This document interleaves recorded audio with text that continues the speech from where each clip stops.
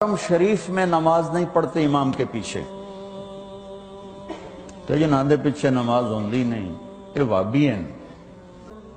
मैं तो अपनी मस्जिद में अपने किसी मुखालिफ को खड़ा नहीं होने देता हूँ।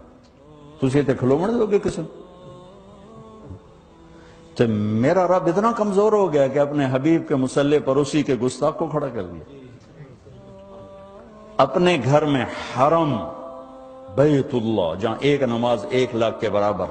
वहाँ ऐसे आदमी को खड़ा कर दिया जो अल्लाह के रसूल का गुस्ताख है। नहीं भाइयों, ये इन भाइयों को किसी ने गुमराह कर दिया है। किसी ईमान वाले को गवारा हो नहीं सकता। जो है दुश्मन मोहम्मद का, हमारा